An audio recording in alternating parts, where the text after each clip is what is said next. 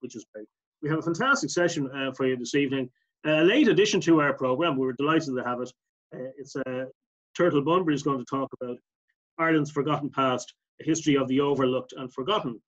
And just to say that at the end, there will be an opportunity for you to ask questions. If you look at the end of your screen there, there is a Q&A button, and you can click on that and uh, ask your question, and we'll get to as many as we can, uh, as long as Turtle's voice holds out.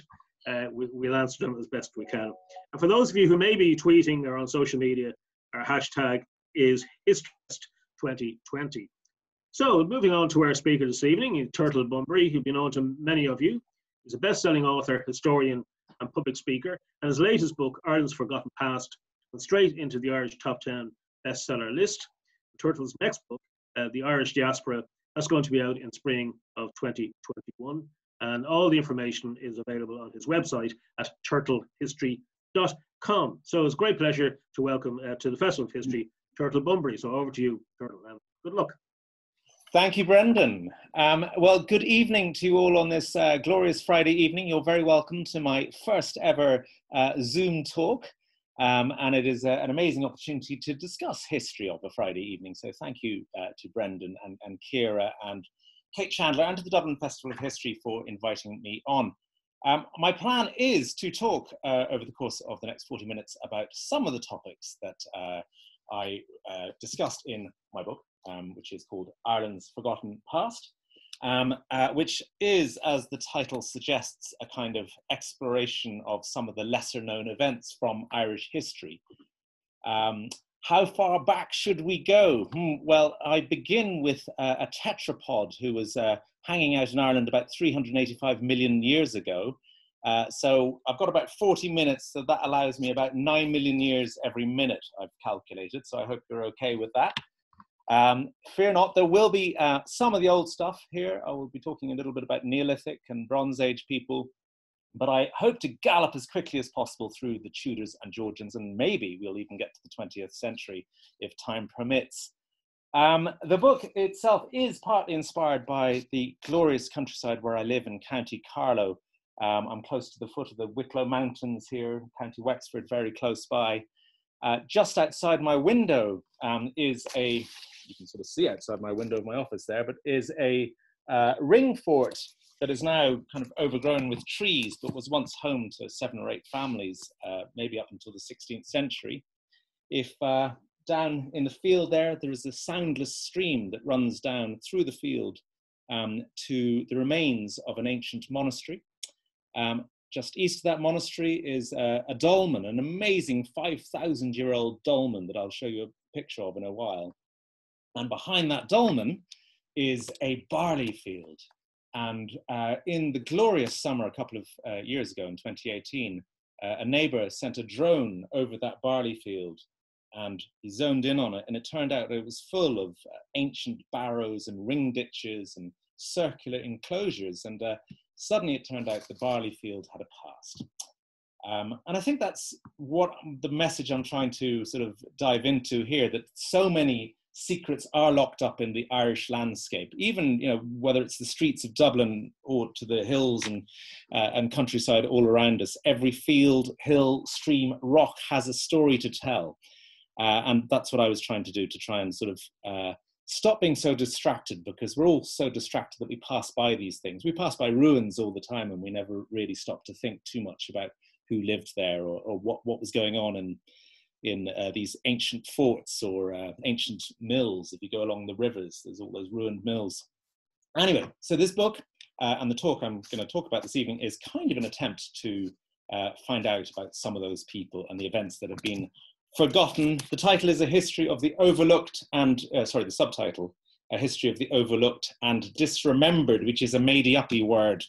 Um, but I just, I wanted a word that captured things that are deliberately forgotten, and some things are deliberately forgotten. So it seemed a, a suitable word for that. Um, okay, I'm now going to turn into um, my uh, sharing my screen with um, the slideshow uh, ahead. Um, and we're going to kick off with, uh, I hope this phone is this right? Um, the Genesis, for want of a better word, the first Irishman. Um, I did say we were going to start 385 million years ago. And this uh, chap here is, well, he is as close to a Devonian tetrapod as you're going to get. Uh, and that's the creature that apparently made the footprints you can see on your screen there um, when he pitter pattered upon this planet about 385 million years ago. Um, and he was about one meter long.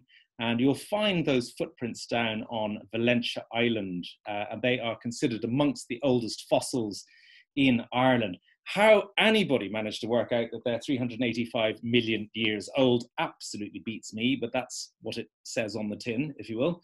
Um, and I guess the footprints were made in the same way they do when they lay down fresh tar on a road and the children scampers upon it and you get the footprints in it. I don't know. So, moving forward, we've actually moving forward. We've just fast forwarded 320 million years already. You See, we're flying along. Uh, and we've got to, well, about 66 million years ago, that's when all the non avian dinosaurs were wiped out by a giant asteroid. Five million years after that, roughly, is when the North Atlantic Ocean is born. And this is, I was trying to get into the landscape for the book to, to kick off the landscape that, we, that surrounds us. And the birth of the, the Atlantic Ocean seemed like a pretty significant event. Um, and it was in Ireland because it caused this uh, swell of scorching hot magma that gushed across parts of the country. It sort of created the mountains of Mourne, for instance, and it brought this volcano. I mean, I didn't even know there was a volcano in Ireland until about four or five years ago, but there is, and you drive through it every time you go to Belfast. Uh, it is what's called the Ring of Gullion on the Louth Armagh border, and it's a massive uh, sort of ring of volcano um, that uh, measured the ring itself is 11 kilometers. The interior is about 37,000 acres. It's so big we don't even realize it's there. Um, but this is uh, it, it basically a volcano that collapsed. I thought maybe it erupted, but uh, actually volcanoes uh, generally collapse. Um, and that formed a huge part of our, our landscape. Uh, as you can imagine, it would have been a pretty noisy part of the world to live when this particular one was collapsing the Giant's Causeway, um, that uh, gorgeous um, uh, uh, coastal feature of basalt columns, again created around the same time by the eruption of uh, Antrim basalt uh, from there. So, okay, we're fast forwarding again only to only three million years ago now. Uh, and this was the end of the, the glaciation, sorry, sorry, the start of the glaciation period when uh, Ireland gets smothered under ice. Uh, the sheets, uh, I gather, were somewhere in the region of three kilometers thick. It's so hard to get your head around these sort of uh, statistics, I know. That last ice age comes to an end about 15,000 years ago. And Ireland is this sort of Arctic tundra, the, the glacial meltwaters, uh, perhaps similar to what you're seeing on your screen there, uh, rushing down the mountains and carrying sand and gravel and boulder clay and, and creating the glens and valleys that we know today, and some spreading out to form uh, places uh, like the Curragh, for instance, which is a, an alluvial plain, 5,000 acres.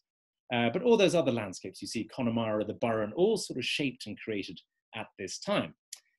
When the meltwater frees up, that uh, means that humans can start arriving.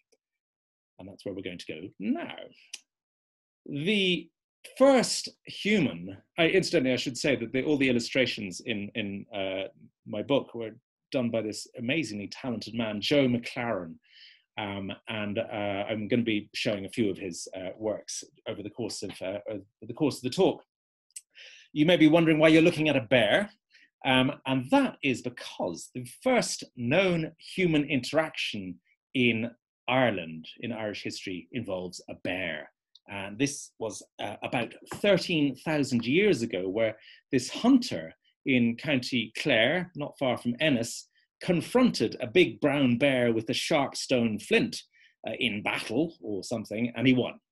Um, and he dragged the bear to a cave and he smashed it up to eat it.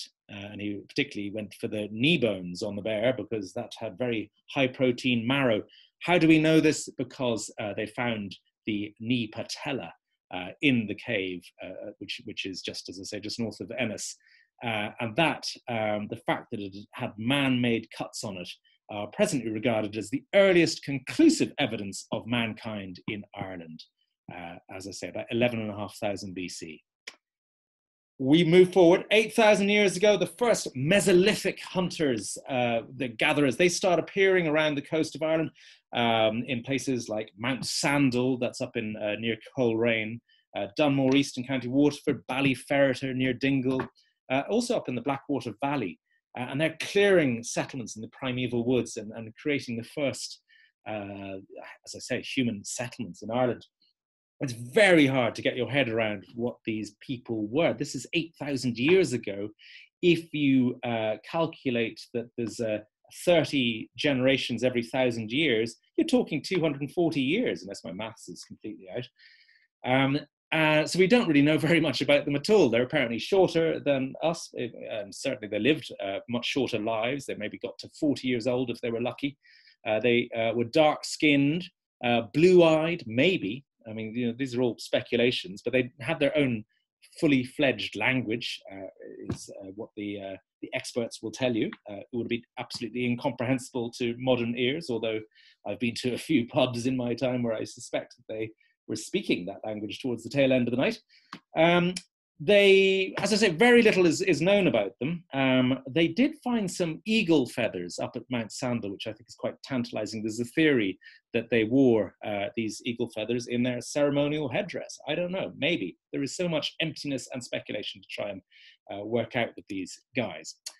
They were in turn replaced by the Neolithic people, who we know a little bit more about, not much, but they did at least leave us these incredible uh, man-made monuments. And I love the Neolithic people. And you know, if if ever there's an aspect of forgotten Ireland, um, it, it is to an extent the, the, the megaliths that these guys have left. There's at least 1,500 of them surviving today, and I have little doubt that there were thousands more uh, before they were you know, pulled down by farmers and, and the church and, and, and battles and all the other things that have happened.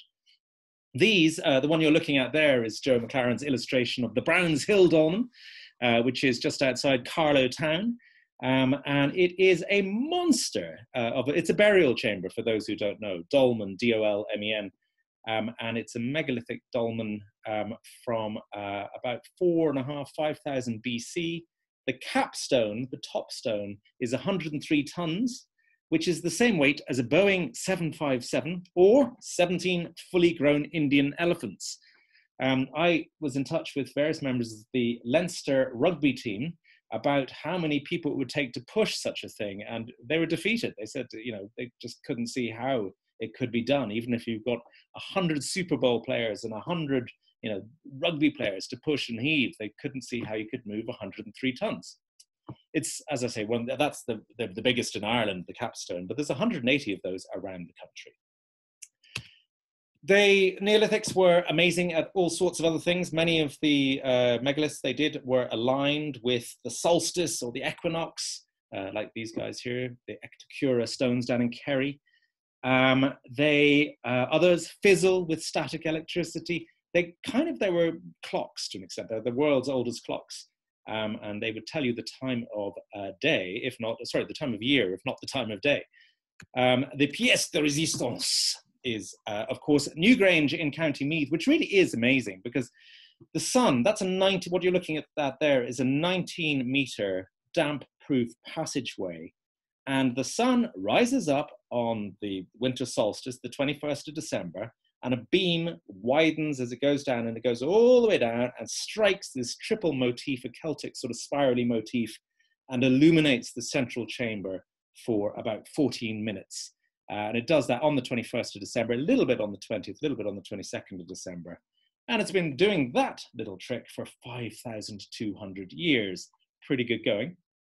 Uh, we are still constantly finding out new information about this because we're getting better at trying to figure out how to find that information. So, for instance, in early this year, a study uh, revealed that the relatives of a man buried at Newgrange, which is in County Meath, just north of Dublin, were found in passage tombs at Carrowmore and Carrowkeel, which is 150 kilometres uh, west in County Sligo. So, you know, how, how we work out these sort of things. Um, and in fact, when, when I mentioned earlier the, uh, the great hot summer of 2018, that, what you're looking at there is the outline of uh, still more uh, evidence of things that's just beside Newgrange. So there's still plenty more to discover about that. Um, and about the Neolithics themselves and their mystery. Where did they come from? Possibly Galicia in Spain, maybe Brittany in France. Um, they came of age in uh, the time of an agricultural revolution that was uh, kicking off all across what was called the Fertile Crescent of the, of the Middle East about 10,000 years ago. And it gradually inched its way across Europe to Ireland. Um, and certainly what we know of them, they have these most amazing energy saving uh, devices and innovations that they were bringing in. Well, they knew about pack animals, maybe they'd thought of a pack animal before to carry sort of hefty weights. Um, and they went more mining for something called porcellanite, which is this very uh, china-like stone um, that is much tougher than flint uh, and ideal for axes and sickles and digging implements and so on. Um, some of you may have been to the Céide Fields uh, on North Mayo, on the cliff edge of North Mayo there, uh, which is a series of stone walls and the outline of a very efficiently planned dairy farm, 3,000 acres big. Uh, again, that was operational perhaps as far back as 3000 BC. Amazing people. I would not uh, want to pick a fight with someone from the Neolithic age. A scientific analysis of arm bones belonging to Neolithic women from Central Europe indicated that they were between 11 and 16% more muscular than Cambridge University's female rowing crew. Okay. uh, oh, sorry, there's, that's the beautiful dolmen that is literally just uh, a mile down the road from where I live. Absolutely gorgeous. And that, I mentioned the drone going over the field just behind the dolmen, is uh, the barley field I was talking about. And hopefully you can see the outline of all the rings um, in that field. But, uh, you know, amazing discovery to, to have so close to, to where I live. Um, on Tuesday last, Mm. I took uh, our daughters to see a, uh, a, hill about 20 minutes south of here that turns out to be one of the biggest Bronze Age burial sites in Ireland. Um, the Neolithic age, uh, which we've just been dealing with, that came to an abrupt halt around about 2400 BC, and the population seems to have plunged by a whopping 90%. What happened? We're unsure, maybe plague, maybe genocide.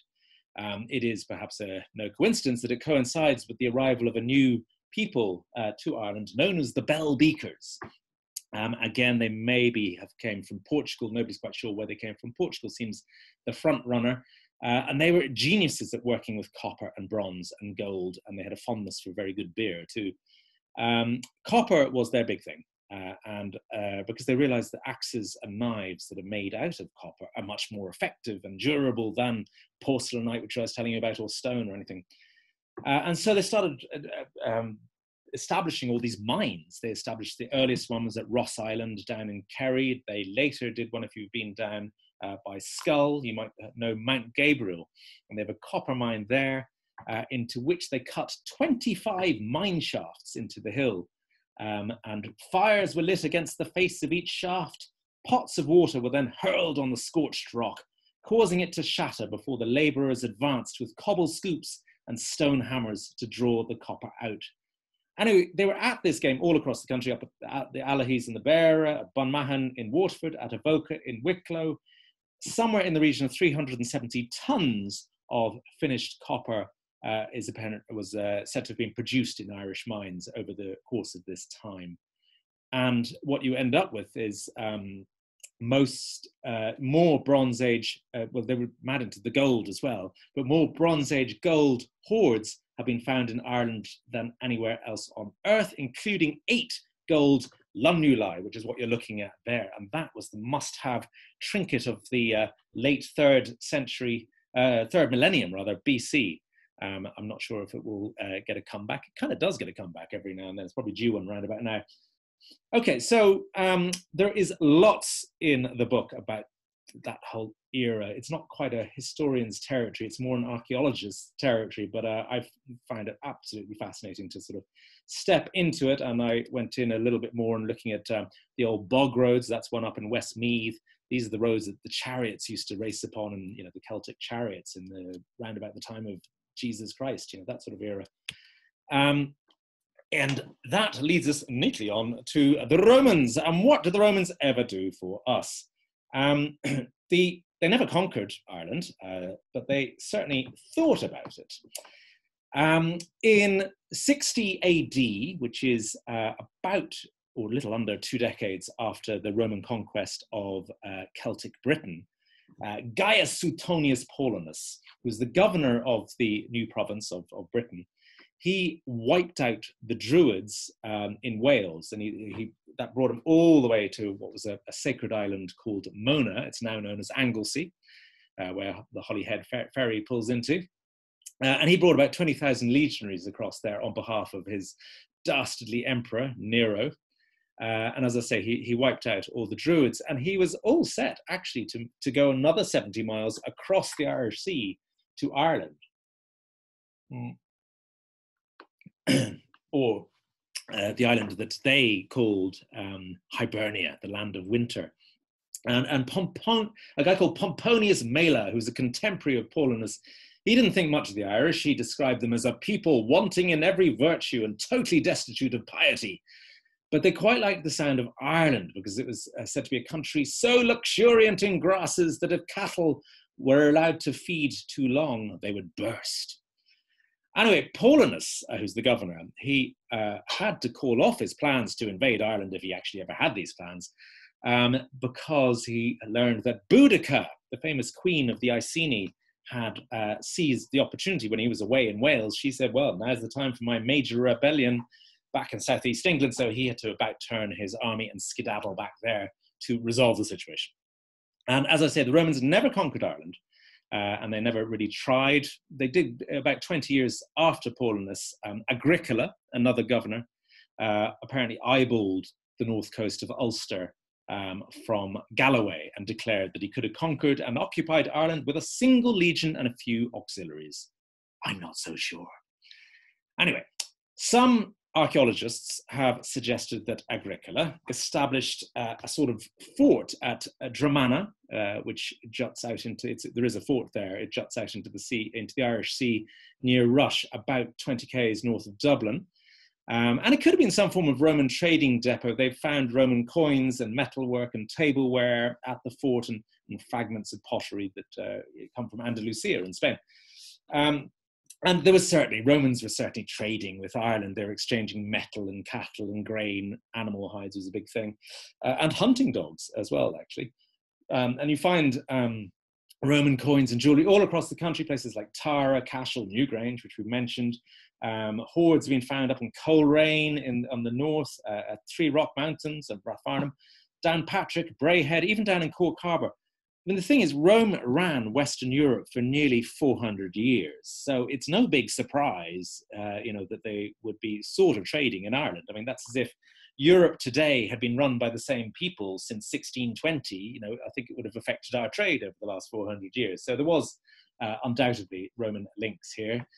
There is also a certain amount of chin stroking over a Roman style cremation that uh, took place at Stonyford in County Kilkenny in the first century AD. Um, their uh, failure, uh, the Romans, they never, they never um, conquered Ireland, so they never controlled the Irish Sea, and that meant that uh, the pirates were always on the go uh, and their big thing was to, to capture people, which they sold into slavery. Um, uh, and uh, quite a lot of the villa owning elite in Rome, after the decline of um, the Roman Britain and the Roman legions left Britain, uh, it wasn't a very good time for the Roman elite or what who had been the Roman elite, and a lot of them were, were captured. Certainly, the ones who lived by the coast were in trouble. Amongst them, the most famous of them all was Saint Patrick, um, who was reputedly the son of a Roman uh, decurion or tax collector living on the coast when he was captured by uh, Irish pirates. Uh, I'm not going to go into uh, the whole St. Patrick story here, um, but I do tackle it a, little bit in the book and how his greatest challenge uh, as, a, as a Christian missionary was to bring um, an end to the age of Druids, um, who had uh, kind of been in the ascendance um, in Ireland since the late Iron Age. And in a way, their deep roots of, of Druidism, I do think, stretch back to the uh, architects of those Neolithic, megalithic passage graves and dolmens and things that we talked about earlier. Okay, I better fast forward. I'm only at the Romans. Okay, so we've gone through the Mesolithic, the Mesolithic, the Neolithic, a little bit on the Celtics, a little bit on the Romans. The Christians, well, you know, that was the biggest legacy of the Romans, was the Christianity or the, the Roman Catholic Church that it gave rise to. Uh, and, you know, much of the knowledge and learning that was gathered during the Roman age would in turn be preserved by uh, monasteries all across Ireland during the 5th, 6th, 7th centuries. And you find these ruined monasteries all you know generally along rivers and there's you know they're just completely abandoned. There are places you read the small signs they'll tell you a thousand uh, people were once students here at one time you know, uh, and they're also you know incredible artistic uh, uh, incredibly artistic people the celtic crosses. I, I, do a chapter about the celtic crosses um, in uh, the book, uh, which lead on to when there's another one, the, famous one at Clonmacnoise. But they are works of incredible uh, art, um, and they also served a purpose. Um, I don't know if you can see this one clearly enough, but it's one that uh, uh, one of the panels that appears on an awful lot of high crosses around the country, and it depicts uh, the moment when Abraham was planning to kill his only son Isaac as a sacrifice to God. When the angel of the Lord appeared, one of the angels, and said, "Don't do that, Abraham. You don't need to. Um, uh, why don't you kill this lamb instead?" It wasn't a great day for the lamb, um, but my uh, sort of amateur interpretation of this is that this was uh, some way of bringing advertising Christianity as, as a religion that uh, was not about human sacrifice. And this was something, human sacrifice had been practiced by many of the people who had been in Ireland before.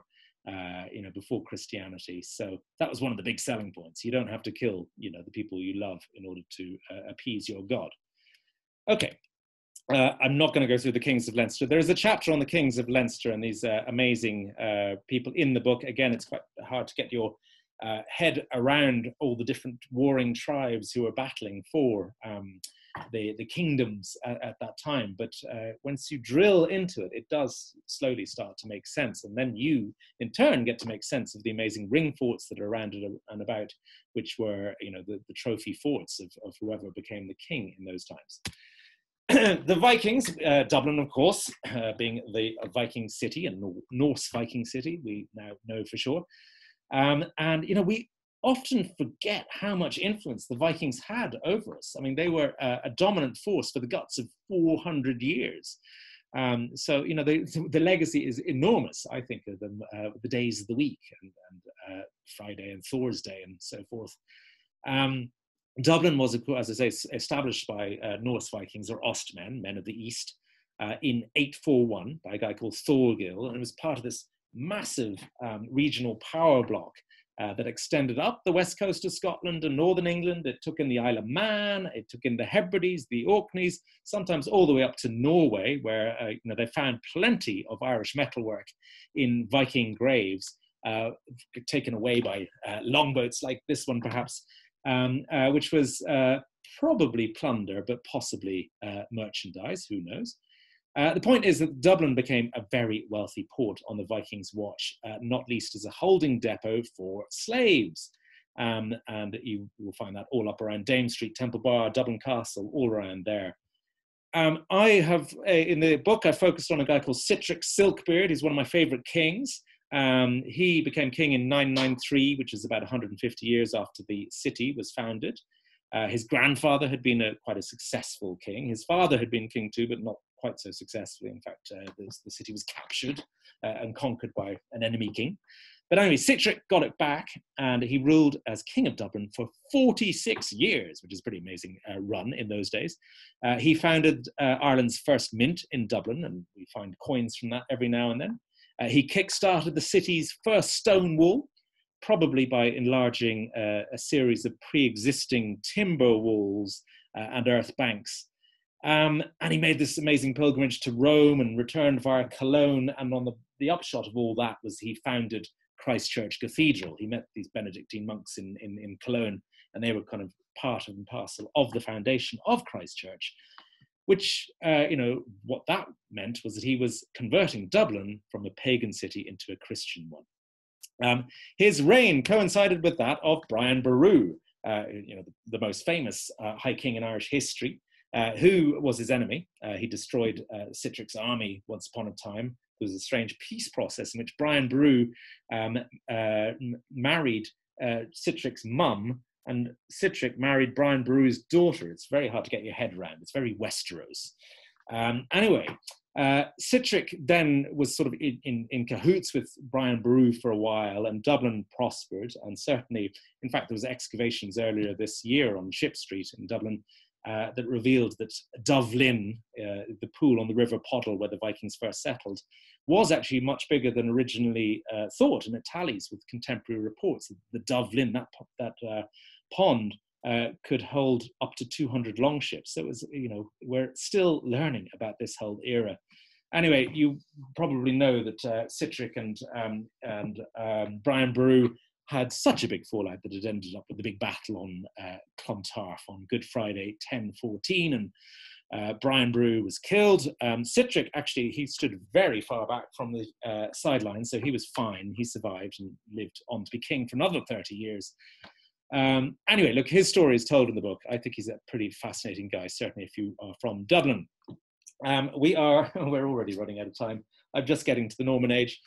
Um, the Normans, uh, it's 850 years since the Normans uh, rocked up in Ireland. The first main batch came in May 1169, the next lot in May 1170. Their legacy is all around us, um, in ruins mainly, but they brought in, you know, rabbits um, for fur and uh, pheasants and frogs and fallow deer, which they like to eat, uh, apples or new types of apple trees, peaches, beech trees. They brought in new breeds of sheep. They brought in feudalism. They brought in the tax system. They brought in the parish system. They brought in, you know, the very early form of the English language. They held the first parliament in Ireland. They did so much. Uh, for me, what I've focused on in this book is a really interesting aspect of the Norman story, which is the Knights Templar, because they were so mysterious and everybody uh, loves that story. For those who don't know them, they were this uber wealthy military order that was founded in Jerusalem to protect pilgrims who were being mugged and murdered uh, when they were trying to head into the holy city, Jerusalem, which uh, Jerusalem was a, a Norman city at this time. Um, anyway, they uh, the, the, Templars end up being pretty influential in Ireland. They owned um, a huge chunk of what's called the Hook Peninsula in County Wexford, uh, and they had uh, preceptories or, or, estates all over Ireland, including Clontarf and, and Crook, uh, all across Munster, Leinster, as far west as a place called Temple House in County Sligo. And they used these estates to raise agriculture and rents, which would fund their campaigns in the Holy Land. Um, so pretty amazing. They, they also sort of bred horses and developed a, a, a woolen industry there.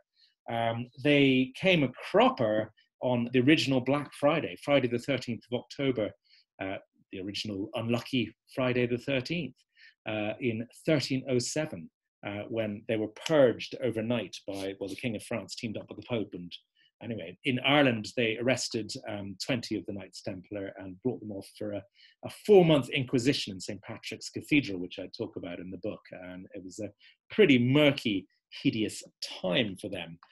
Um, sorry, that's uh, Aoife and Dermot and the, the whole thing. There is a Knight Templar looking suspiciously like Russell Crowe. Um, they built, as I say, castles galore. Carlow Castle, my local castle, was built on their watch, and this other amazing one, Castle Roche, in the middle of nowhere on the Louth Armagh border. I uh, strongly recommend you head up and visit. Um, uh, the Edward the Bruce, I'm going to, I'm sorry, I'm forwarding through quite hastily, but it is uh, the medieval period I wanted to sort of touch on. Edward the Bruce's invasion of Ireland. If you go to the north of Dublin um, in uh, uh, you find this grave, Edward Bruce, King of Ireland, killed in the Battle of Faughart back in 1318, which is an amazing thing if he really is there. He's not all there, I have to say, because he was hung, drawn, and quartered. So uh, various quarters of him are in other parts of uh, what was then the Kingdom of England and Ireland. Anyway, I talk about he was the brother of Robert the Bruce, and it's all Braveheart, William Wallace, that whole era. Uh, and pretty exciting to, to sort of uh, confront uh, what happened during that strange time. Um, it leads us through to the Wars of the Roses, which is a, an event every child learns about in England, but very few in Ireland. And yet it took place all across Ireland, and there are uh, battlefields and, and remnants of it everywhere. If you go into St. Patrick's Cathedral, you will find the door, a famous door, where um, a guy called James Dubh Butler, who was for one of the warring sides um, in, in, the, um, in the Wars of the Roses, he met his enemy, Lord Kildare, and he put his hand through that uh, door, a, a hole as, uh, as a chancel door, I think it's called, in the cathedral. And that uh, was a sort of handshake of trust that gave rise to the expression to chance uh, one's arm. Okay, um, we are oh, we are so out of time, and I've got to the Tudors. There you go. How do you tell the history of Ireland in such a short time? I do not know. The Tudors uh, were massive in Ireland. I have uh, focused my story on a guy who became the enemy of this lady, uh, that's Queen Elizabeth, um, and his name was Sir William Stanley, and he was uh, actually an Englishman who um, commanded um, Elizabeth's forces in Ireland. Um, but he was then felt very short-changed because uh, he didn't get any uh, of the land when they were divvying it up afterwards. Uh, for instance, Walter Raleigh got 42,000 acres as a prize, where William Stanley, who'd done a lot to, to capture Munster for her, um, was given nothing. So he ended up changing sides and he went and joined the Spanish. And so I talk about him and his role in the Spanish Armada, which eventually came a cropper, mostly on the coast of Ireland. Um, so really very exciting stuff. If you like your Tudor period, there is no shortage of uh, excellent stories about uh, the Tudors in Ireland. How are we doing? We're into the last uh, three or four minutes, I think. Mm. I had to put in uh, a picture of James VI of Scotland, who, as it says there, became James I. He succeeded Queen Elizabeth. I had to put the picture in because I like his hat. I think it's a very fine hat. Um, he um, became king uh, in 1603 of Ireland, and it was under him that the plantations began. So I've gone into the stories of the plantations a little bit uh, because I think that is an extremely important aspect of our history. Um, you can see uh, there's a map there detailing how it how it all worked out. Um, but huge chunks of Ireland taken over between 1556 and you know the 1620. Um, uh, I've told the story through the uh, the life of a guy called Daniel Byrne, who was a great grandson of Fiach McHugh O'Byrne, who was a, one of uh, Queen Elizabeth's enemies. Um, and he was a Catholic tailor who worked upside Christ Church Cathedral. Um, and he brought huge amounts of white cloth in Dublin, and he had it coloured red, dyed it all red. And then he got 40 tailors, apprentice tailors. He employed them all up beside Christ Church, and they turned it into red coat uniforms for no less an army than Oliver Cromwell's uh, new model army, 43,000 men that Oliver Cromwell got over, and they were kitted out in um, this uh, the the white cloth dyed red by Oliver Byrne, and that's the origin of the redcoats. Um, so I kind of honed in on that story. Um, okay, Georgian Ireland, Joshua Dawson, Dawson Street, because you're all Dubliners. Uh, you should know the story about Joshua Dawson, um, who was the number one spy master. He's the guy who built the mansion house. Dawson Street's named for him, so it was Joshua Street just off it. Uh, he was the number one spy master in Ireland in about 1700 to 1713. Uh, very little known story, but a pretty remarkable, remarkable guy. This was the time of the penal laws, not a great time to be a Catholic in Ireland. Uh, his job was to uh, get rid of all Catholic priests and anybody else that was suspe- uh, suspected of, um, you know, being devious. Okay, oh, all these stories, so many stories. The Hellfire Club, I'd love to tell you the story of the Hellfire Club. We couldn't possibly go into it here. Or Peg Plunkett, um, who was uh, regarded as uh, the Dublin city's foremost courtesan and brothel queen, uh, queen in the 1780s, 1790s. Uh, she uh, caused a serious rumpus in 1794 when word got out that she was preparing her memoirs for publication uh, and that she was planning to name uh, all the various people who had been her customers and who hadn't paid her because a lot of people hadn't paid up. Uh, anyway, she was a really remarkable woman, and I have a, a big soft spot for her. Uh, her uh, place of um, that she was based is um, now uh, the Westbury Hotel. So uh, if you go to the Westbury Hotel, you should read about uh, Mrs. Leeson, as she was sometimes known, or Peg Plunkett. Um, I into the final minute, I presume at this stage, um, we I bring it up to the story of the congested district board, which sounds like incredibly boring, um, but this was a very ambitious plan by the Conservative government in Britain, who ruled Britain for about 10, 12 years.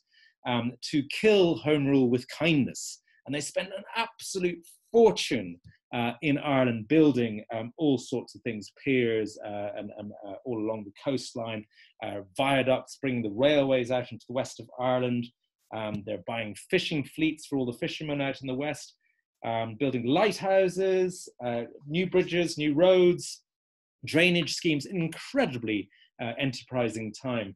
Um, and I, have gone into that because I just think it's too too fascinating, and we don't really know about it. And yet, uh, a lot of the roads and railways and all that that we use every day uh, were constructed during that time. Um, I talk about the gas attack in the Western Front, which uh, left a lot of uh, Dubliners dead. In fact, it killed more Dublin uh, soldiers in one day in the same week as the Easter Rising uh, than, than people who died in the Easter Rising. Probably, that probably didn't make sense. I'll explain it again another day. Um, finally, my last story is about Operation Shamrock, uh, which was this extraordinary um, Red Cross humanitarian initiative at the end of the Second World War. You might, if you walk through Stephen's Green, you'll see that monument that Joe McLaren has depicted there. Uh, and the initiative was to bring German children from war-torn, uh, from the war-torn German homeland to Ireland to enjoy some peace after the war because they're obviously all traumatized. Um, and that story is told through a lovely guy called Herbert Remmel, who's still alive. He came here when he was nine years old and he got off the mailboat in Laoghaire in 1946 with um, all the other young children that were being brought over. And uh, people were giving them fruit and everything. And he just turned around. He was so mesmerized and he sank his teeth into an orange. Uh, and peeling, peeling an orange was one of the uh, very useful things that he learned in Ireland. Okay, I think I better uh, wrap up there. And uh, if you have uh, any questions, I am game on. Okay, folks. Well, thank you very much, Turtle. That was certainly a whistle stop tour. Uh, maybe would you mind uh, unshare uh, unsharing your uh, screen? Of course. Yeah. Yep. So I guess uh, great. Here now. Thanks very much. Excellent.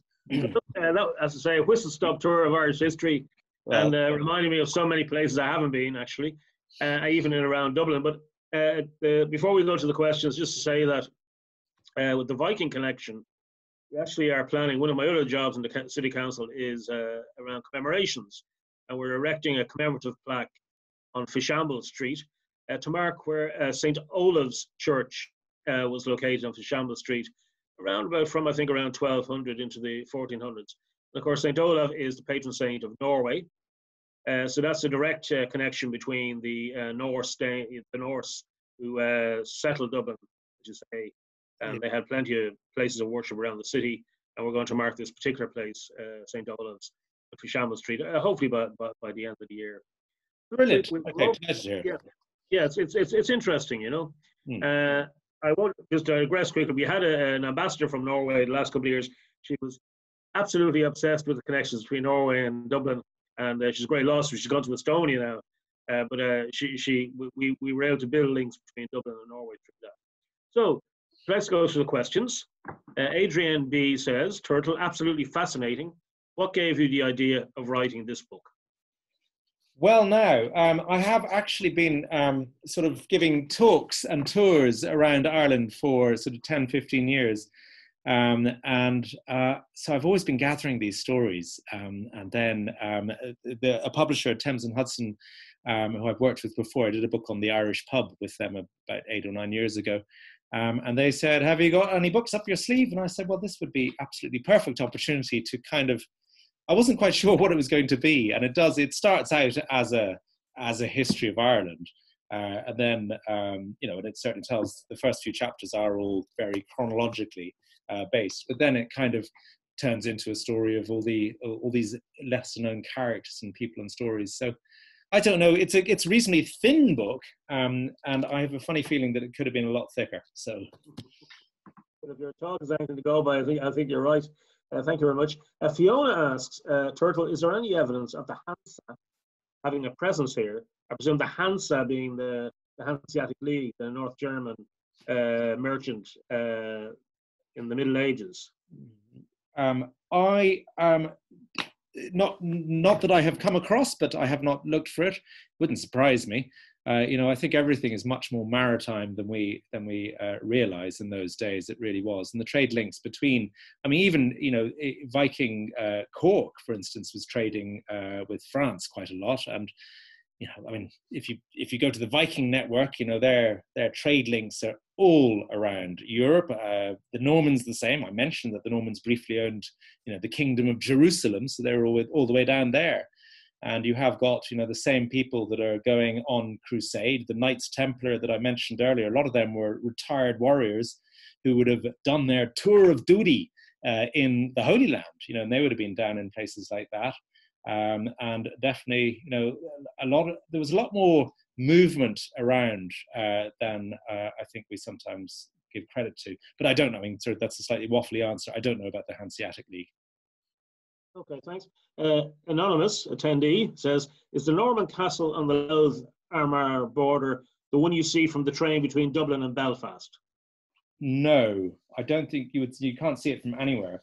Um, it is called uh, Rohesia's Castle, and it's absolutely brilliant. Um, uh, it's li- it's literally in the middle of nowhere, and it was a sort of border post on the the border of the Pale, as was and uh, it was built by uh, unusually by a woman called Rohesia de Verdon.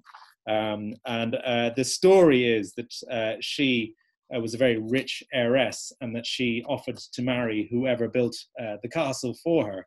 Um, and that she then, there's the thing called the, the murder window, because apparently she brought her, she married the guy, then brought him up to admire the view from the top story of the castle and allegedly heaved him out the window.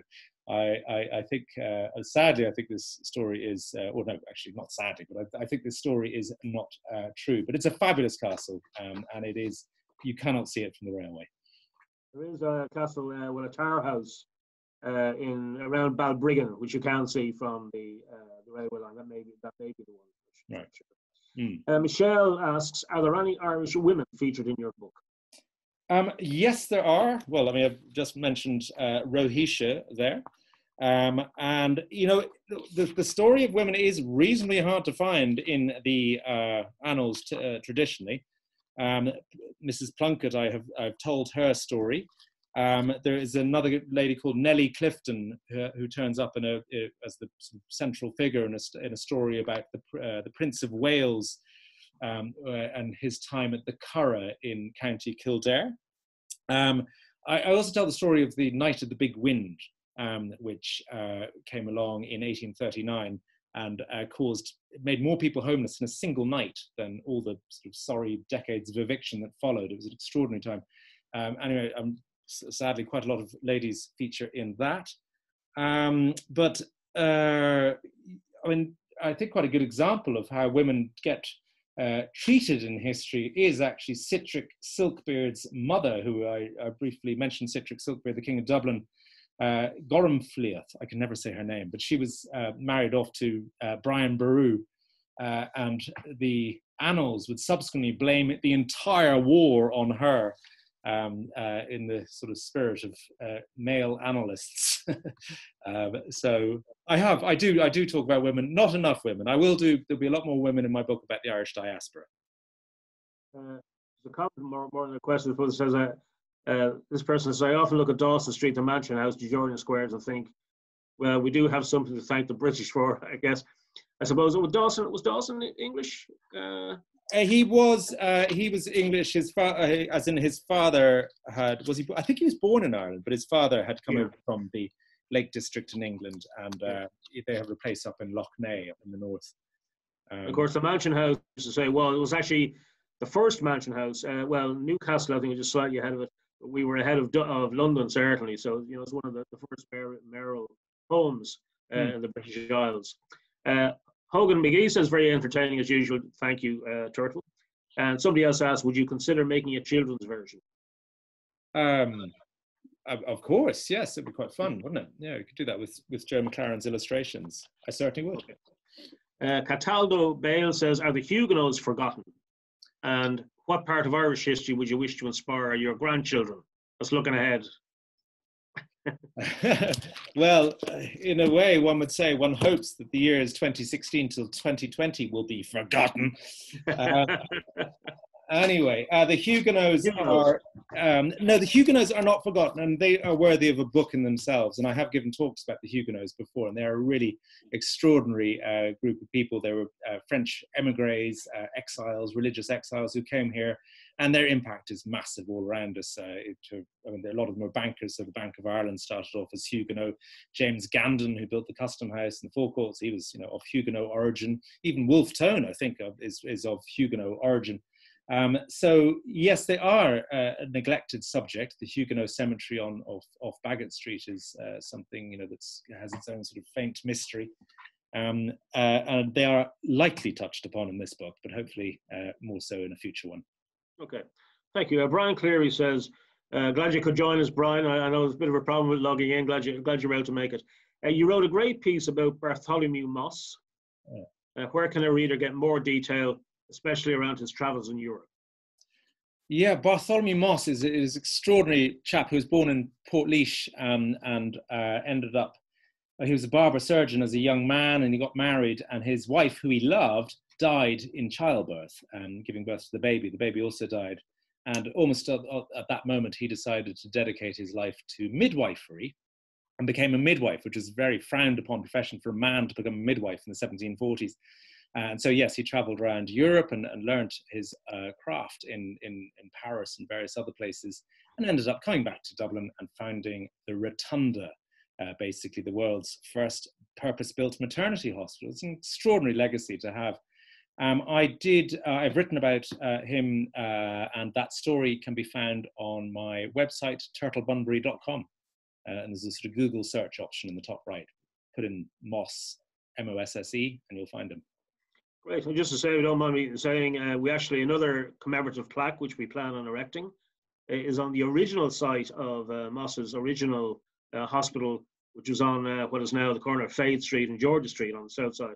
And we hope to erect that plaque. Uh, it's been proposed by the Rotunda, and it's something I wasn't aware of, so delight to find that out. And that, that again, there'll be another plaque we erect by the end of the year. So another question from Yvonne. Uh, what was your favourite story that you uncovered when writing the?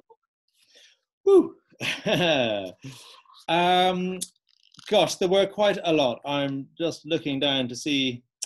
I mean, I definitely, I definitely got a bit of a thrill out of bringing um, sort of medieval Ireland to life. Um, I think, uh, and then there's other sort of little bits of geography as well. When you find out there's these canals down in, in Kerry, the Lixnaw canals that have been sort of overgrown down there, and finding the story about them and these sort of projects. Um, the, the mm, and the night of the big wind is something that has an enormous impact really because it just you know when you read the newspaper accounts from it uh, you can just see how absolutely terrifying that might be. And uh, i do I, I, wrote a story about it for the irish times a few years ago and they it gets aired every time there's a glimpse of a hurricane it seems to appear again. Um, but uh, i think possibly the night of the big wind might be up there. Okay. Yeah.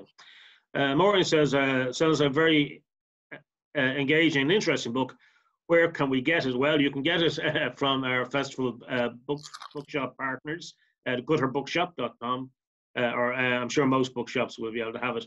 And I'm sure if you check your local library, they should have a have a copy as well. I, sh- I should hope so, at least. Uh, Michelle says, "Thank you very much for an interesting overview. Looks forward to your book on the diaspora, and uh, so say all of us." Claire Hayes says, "Turtle, have you heard of Maggie Chew, lady of the espionage and drug merchant landing in Limerick in the 1920s to feature in second edition maybe question mark I have not. I'm so pleased to hear of somebody that I haven't heard of before. How very exciting! No, I'd love to know uh, more about her immediately. Okay. So Claire, Claire, maybe you'd uh, contact uh, Turtle through his website, and um, he'd be delighted yes. to hear from you about that. Yeah. Yes, please. Yeah, yeah. I'd love that. Uh, another question from Adrienne B. She says, "Do you think the Romans did us a favour by not coming over to Ireland?"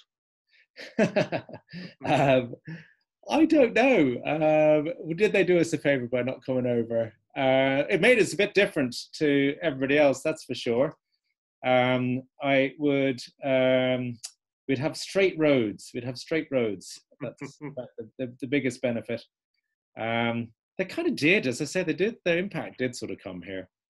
Um, that's a that's a good question. I can't answer it's that. Inter- yeah, it's an interesting one. It is an interesting one.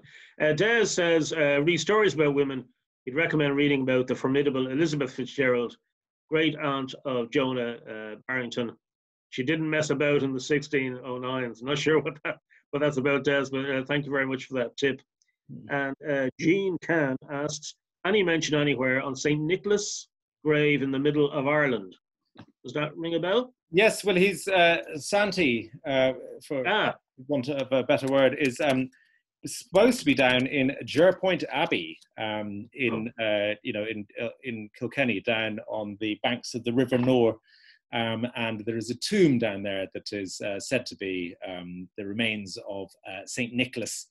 Um, but you know, obviously, it can't be Santa because Santa doesn't die. Santa, mm. you know, he's a magical being. Um, but um, it is, yes, St. Nicholas's tomb is apparently uh, in the ruined church of St. Nicholas down at uh, Jerpoint Abbey. Okay, okay. And David Freeman asks anything about Lithuanian Jewish immigrants to Ireland and episodes such as the Limerick pogrom? Um, not about the Limerick pogrom. Uh, have the is the Lithuanians mentioned in this? I have. I've covered the story of the Lithuanian Jews before. It is absolutely fascinating. Um, no, that'll have to go in the sequel as well. there are uh, okay. there's, there's there's 36 stories in the book. Um, uh, so um, yeah, and you know the vast majority of them take place uh, in the sort of 16th and 17th and 18th century. Okay, we're we're getting close to the end. I think. Sort we'll let you go. Uh, have your uh, uh, Friday night supper, whatever you're having. Uh, Susan said, read your account of the big win, terrifying and excellent. One question off topic. Uh, would you have any idea if there was a small dock next to Custom House before George's dock was built? I can answer that if you can't. If there was. There was. Yeah. There was, yeah. Uh, the, the, there was a dock right below where the, um, the there's plenty of little docks that have disappeared, but James Gandon built one, didn't he, that we now drive over. Um, That's right. Yeah. remember where it is, Brendan? Exactly. It's. it's I think it would be where is it Memorial Road is, uh, just uh, between what is now the you know the Custom House and what is now the IFC, hmm. and it leads onto the bridge, onto the Matt Talbot Bridge. There was a dock there originally, and in fact, if, if uh, just to say to people, if you look on the festival website, there is a talk uh, on the uh, Royal Irish Academy from the Royal Irish Academy, which deals with this very area and shows the maps uh, showing that dock uh, yeah, it's very it's very interesting. So if you drive over the Matt Talbot Bridge in Dublin, you're you're uh, you're effectively driving over the dock uh, just before you get to the bridge. Yeah, very interesting. Yeah, very interesting. Yeah, all that whole area, amazing. Yeah. Uh, that was nearly going to be a chapter in this book. I'm definitely going to have to write a sequel. Oh, you are no no question about it. and I just uh, uh, Cataldo Boyle just mentions that uh, Dr. Adrian treated Lord Edward Fitzgerald after his capture, and he was a Huguenot descendant. So Okay, very good. Okay. Okay. Well, look, folks, it's um, it's uh, 1959, so we're just coming up on to uh, eight o'clock. Uh, I want to thank, obviously, thank uh, Turtle for a fascinating talk and giving us all uh, more things to look up and places to travel to. As I mentioned, uh, Turtle's books are all available at your local library, but our festival partner bookshop, as usual, is the Gutter Bookshop, uh, gutterbookshop.com. They'll be happy to supply all of your reading needs. We've lots more events coming up in the festival over the weekend. Uh, tomorrow, for example, Saturday, we have Cormac Moore talking about the road to partition. That's at 2 p.m. At 7 p.m., we have Anne Applebaum talking to none other than the Minister for Finance, Paschal Donohoe, uh, about her very important and very relevant book, The Twilight of Democracy. Uh, any of us who look at what's going on around the world today, this is really, really, really important book. On Sunday, uh, Marita Conlon McKenna, the wonderful author, will be here at 4 p.m. talking about the Great Famine. And then at 7 p.m. on Sunday, we have Philippe Sands. He'll be talking about his wonderful book, The Rat Line, on the trail of a Nazi fugitive. If you haven't heard that story, it is really, really fascinating and well worth uh, tuning in for that. Full details all on the website at dublinfestivalofhistory.ie. So uh, just remains for me on behalf of the festival, on behalf of Dublin City Council, indeed, I want to thank uh, Turtle once again for uh, giving us his time and his expertise on a really entertaining evening. And I want to thank all the audience so much for taking part and for all the great questions. And we hope to see you more uh, at more events, rather, from the Dublin Festival of History. And I uh, hope you all have a nice weekend. We'll see some of you tomorrow and on Sunday. And Turtle, good luck with the next book. We look forward to, to, to seeing it. Bye bye now. Okay. Good night, everybody.